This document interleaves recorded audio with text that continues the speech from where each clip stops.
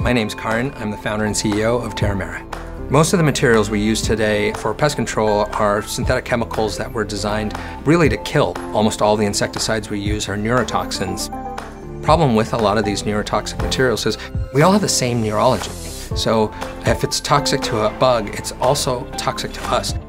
Terramera makes natural products that actually work. And we found that we can take many of the natural organic materials that are used in pest control today and make them three to 10 times more effective so that they actually outperform the synthetic pesticides that we're using. We have a consumer product right now at around 6,000 retail locations across five different major chains.